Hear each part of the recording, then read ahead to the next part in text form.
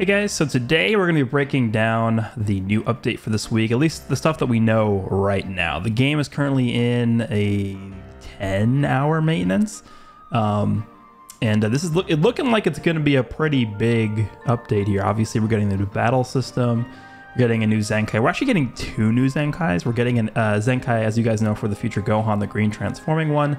And we're also getting one for the EX Android 18, the green one from like back in like the like the like the first few months of the game coming out.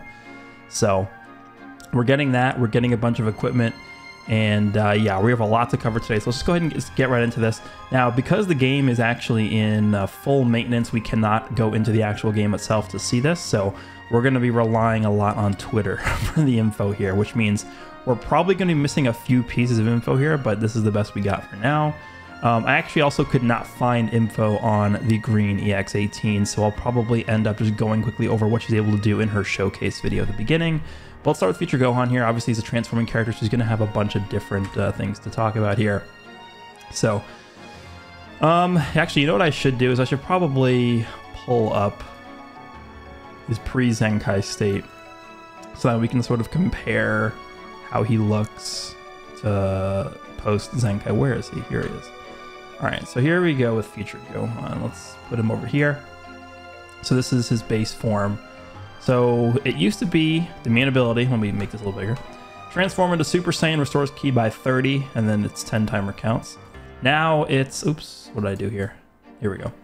Now it's restores ki by 40, and it gives him a card, one level of card draw speed for 15 counts. So obviously it's way better. that, that is a pretty big buff. I mean, just 15 counts of card draw speed is not like insanely good, but ki, like 40 ki plus card speed, like that, that's not bad at all. Um, same requirements for the counts. Passive one. Okay, so let's pull, this is what it used to be. Applies the following effects itself when this character enters the battlefield. 40% of blast damage inflicted, 15 counts, minus 5 to blast cost for 15 counts, and then 40% to ki recovery. So 40% blast, 5, and then. Um, so, okay, so these these 30s jump up to 40. That's pretty much what, what happened there. Okay, not, not horrible. Second passive applies the following effects self per defeated battle member when this character enters the battlefield. Uh, heals by 5%, 20% damage inflicted, and then reduces damage received by 10%. Cannot be canceled. Effects reset when characters switch. 30% um, of damage inflicted when allied character Trunks is defeated. Applies the following effects self when enemy switches characters with the character on the battlefield, 30 ki, and then 15% to blast damage inflicted for 15 timer counts. So let me just quickly see here. So 20% damage inflicted per defeated battle member, that's the same. Uh, yeah.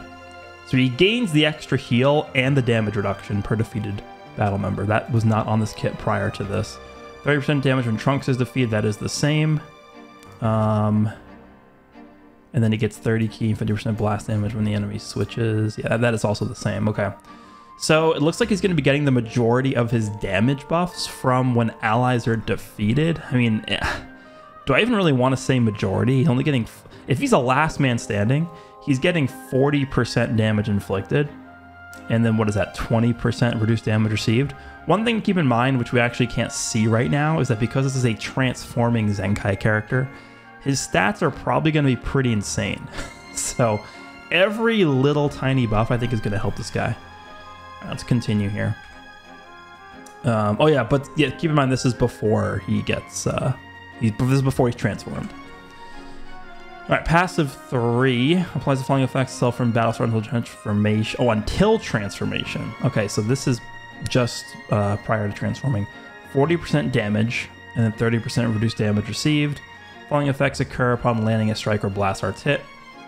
He gains 5 ki, minus 2 to own car arts cost for 10 counts.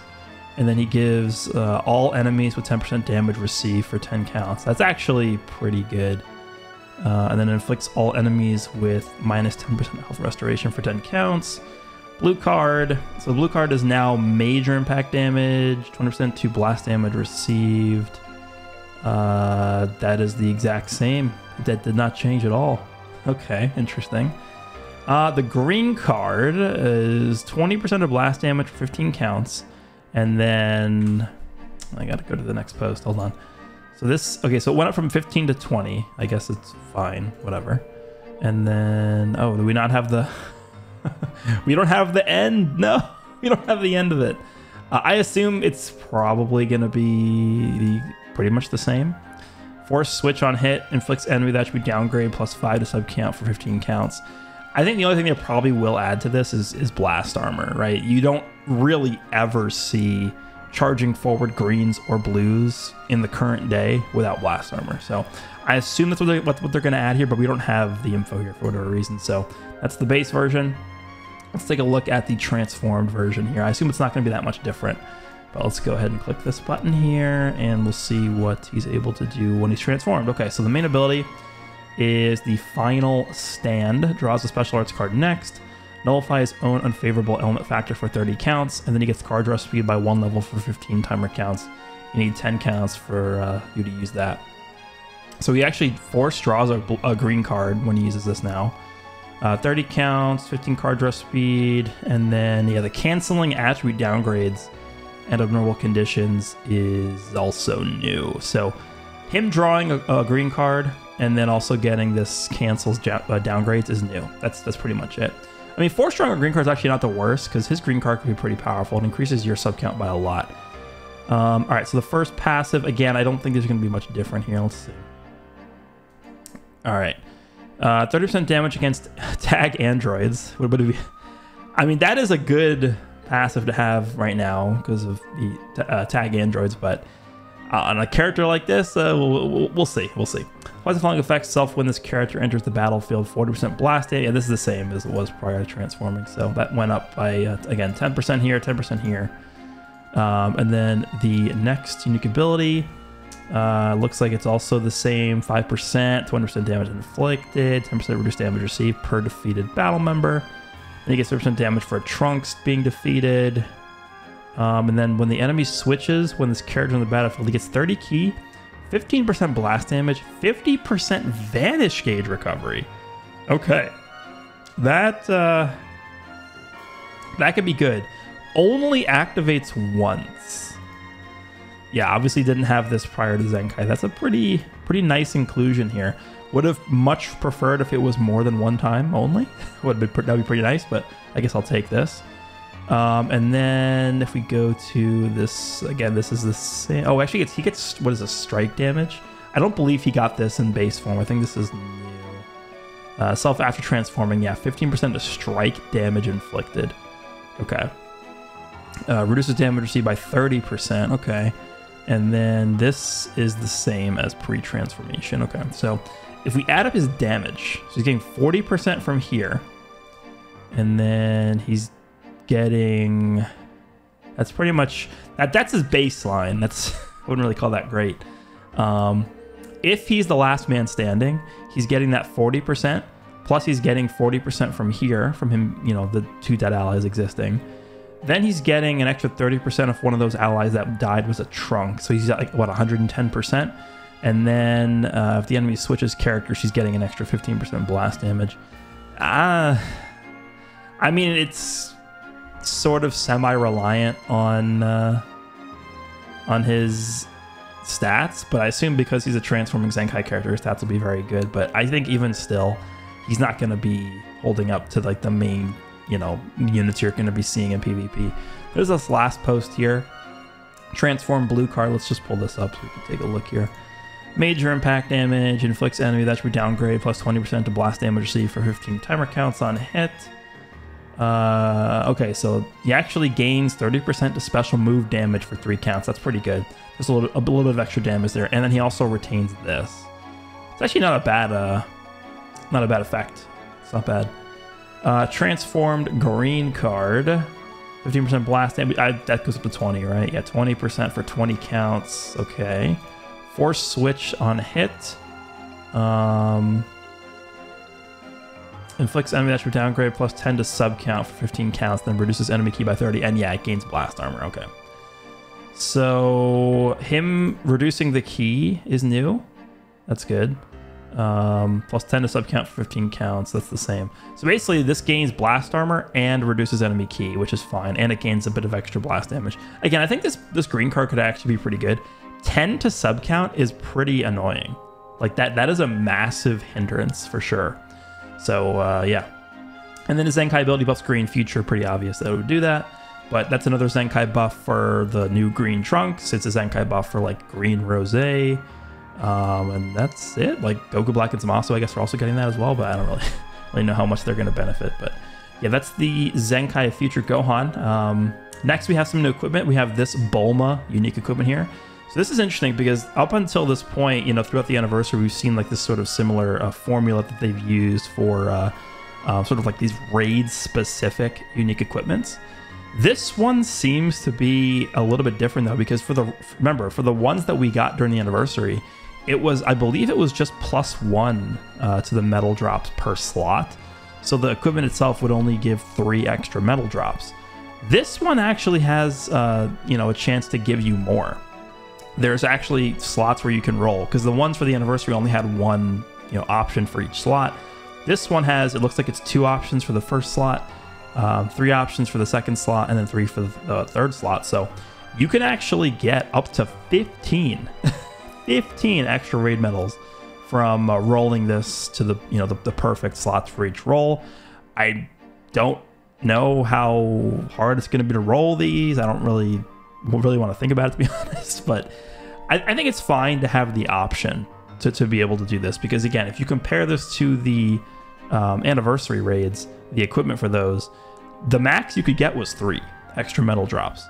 The minimum you could get on this one is what, five? Because you get three, one, one here. So you're getting at least five, um, you know, from one of the, from literally just rolling the equipment normally and getting the worst roll for each slot.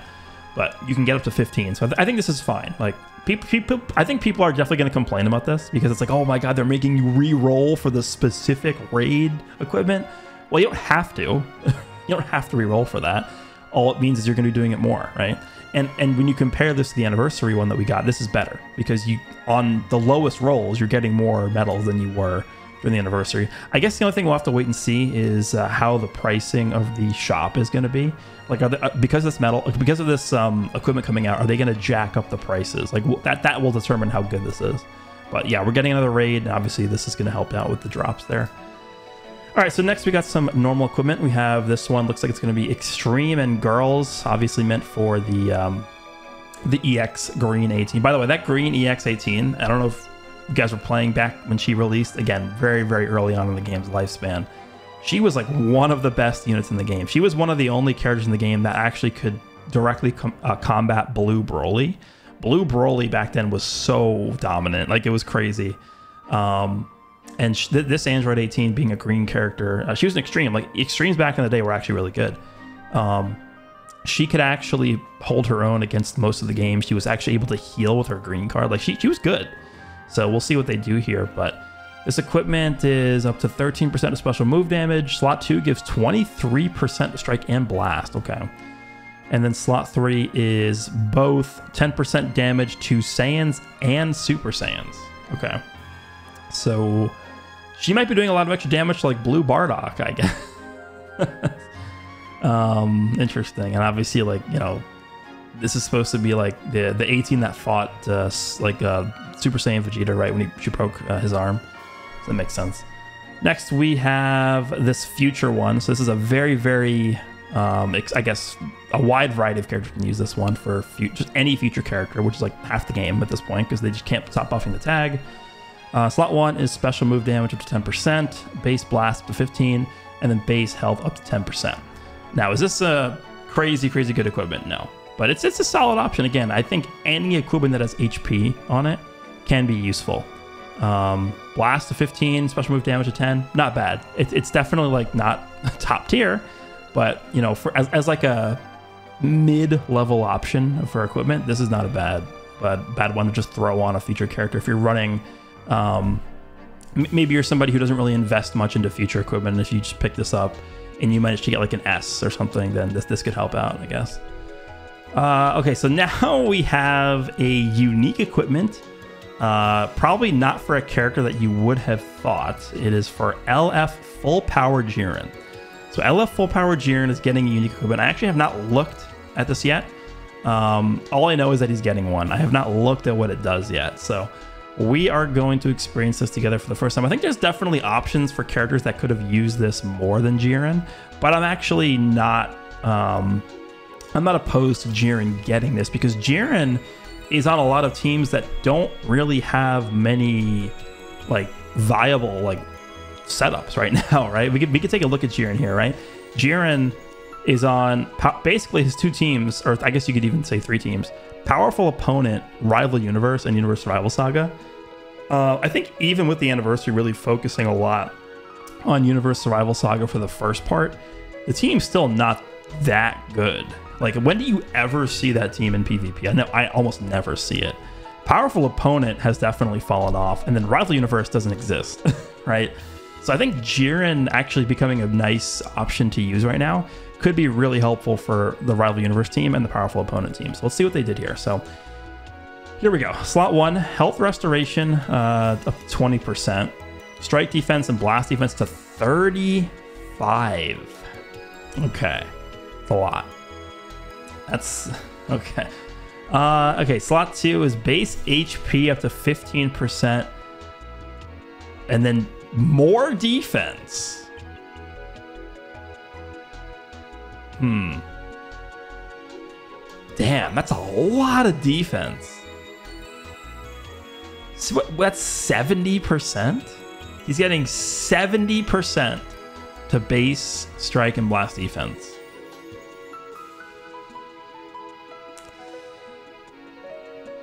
Not only is that a lot of defense, he's also getting 20% to health restoration and 15% to HP. That is that's actually exactly what he needed. I feel like this Jiren, one of the biggest issues that I've had with him is that he just feels really, really, really squishy. What is his dam reduced damage received? For, yeah, this, this this is exactly why if you honestly, if you have anything under 60% reduced damage received, you are not going to be able to tank at all. And the, the, the insane thing about this character is didn't this guy come out in like February? I think I think he literally released in February. Let me see if I could pull up his banner here so that I can show you guys what I'm talking about. This Jiren is he's like just about six months old. Six months old. Here he is. Legends powerful opponent. This is his banner. Oh no no no, sorry, this is not it. It was what, what was like like the full might or something was his banner. I think that, yeah, the full might. Where's the actual step up version of this? Um, let's see. Is it more down here? Here we go. Legend step up the full might. When did this actually come out? Um, because this guy is not old. This guy is. So let's just think about this. It was Jiren, uh, Ultra Blue Kaioken Goku, then it was the androids. Then it was the anniversary, and then we just got Trunks, and that's it. There, there haven't been that many characters released since this guy came out. Uh, February, so literally six months ago was when he came out, literally to the day almost six months ago. He's already getting a unique equipment to this level because he simply can't, like, he, the reason they specifically made this equipment super defensive because of the fact that he just can't take a hit. And the reason is because this is just way too low. You cannot be an effective character in this game with only 40% reduced damage received unless you're doing something fantastic with the rest of your kit. So that just goes to I think this is a perfect example to prove the point that I've been talking about for the past like month or two, right? Which is that the the, the best units in this game are just so far and away better than like everything else that a character that came out 6 months ago has to get a buff like this to be able to even have a shot at surviving. that is keep in mind this guy has endurance. If the enemy rushes you at all, this guy gains endurance, which I think actually doesn't matter as much because a lot of characters these days, um, well, the main one obviously being the uh, tag androids, don't care about endurance. But you know, this is pretty ridiculous that he's getting all these buffs right now. Seventy percent. to base defenses, both strike and blast. All right, slot three. Um, yeah, so it's either fifth, it's either five percent damage, ten percent damage, or twenty-five percent damage. And then you're also getting a 30% heal, which is going to get amplified by your health restoration in slot one. and another 15% to damage when an enemy activates Rising Rush cannot be canceled. So he's basically if okay. so if you get this this best roll in slot three, and the enemy rushes, you're picking up an extra 40% damage inflicted. Let me just put this into context here. Let me let me actually just zoom out a little bit. Let me pull up our good friend. Actually, I want to go to the uh, equipment screen here. Where's the Super Saiyan 4 Gogeta and Cell equipment? So there's the Cell one. Here's the Gogeta one. So for context, this Cell equipment that Cell got, you know, I don't know how long ago this, like four months ago or something at this point. This gives Cell an extra 20% damage. You guys know how good this character is, and you guys know how much of a buff this gave Cell. Just this alone. Gogeta.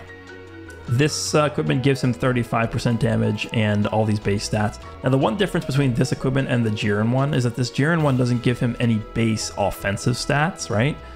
But he's getting 40%. I mean, assuming the enemy rushes, which they pretty much have to, he's getting 40% damage from this final slot here, you know, once the enemy rushes. Gogeta on his equipment is getting 35%, but then he's also getting the additional base stats. I think when you obviously consider these base stats, Gogeta is probably going to be getting a bit more damage than Jiren is from his equipment here. But, uh, dude, this Jiren equipment, is this, is this the best equipment in the game? Like, it might be. Let me, hold on, let me see cells. Defense, defense, ki, critical, this is pretty much worthless. Ki recovery is okay. Uh, strike, blast, selected damage, health restoration, uh, health,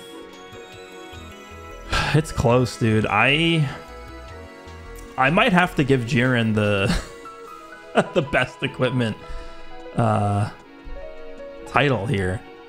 70% to both to both um, base defenses, health restoration, 15% HP. Yeah, this is pretty this is a pretty massive buff.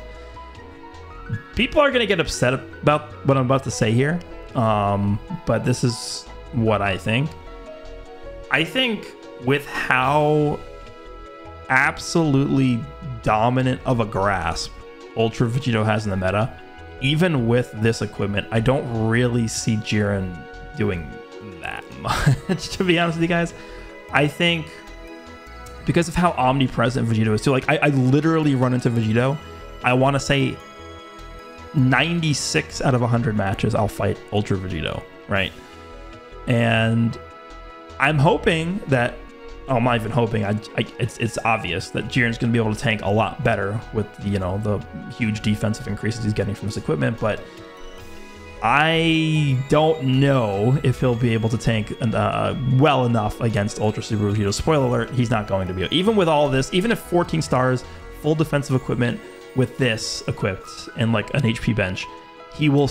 i I'm telling you, I'm telling you, he will still get incinerated by Ultra Vegito. But Ultra Vegito aside, I'm hoping this guy will be able to do some some good work, right? I don't really want to automatically write him off because oh he's you know purple loses to yellow. Uh, that that's that's that's obvious. I don't I don't really want to write him off because of that uh, disadvantage. Um, but you know I think against like neutral typing or I guess green characters. Like how many green characters are irrelevant right now? Because obviously he'll have type advantage over them. Uh, Trunks just came out is uh, I I'm gonna be honest with you guys, I've seen like four. I, I grinded a lot the past few days to get God rank. I probably I probably queued up into like 60 or so fights. I've probably saw like three or four people use this Trunks. Nobody's using him. Uh, Dragon Fist Goku I see quite often. I want to say like uh, I don't know, like 40 to 50% of my matches are against Dragon Fist Goku. So he's probably the biggest and most prominent uh, green character in the meta right now. Super Saiyan 4 Gogeta I almost never see anymore. Golden Frieza I see like maybe 15% of the time. I think I ran into him like eight or nine times in uh, my in my experience in the past few days. That's pretty much it though. Like what other green characters are you fighting? That's it. You're not fighting Goku Black and Zamasu. I like never see them ever. Maybe I fought them like once or something.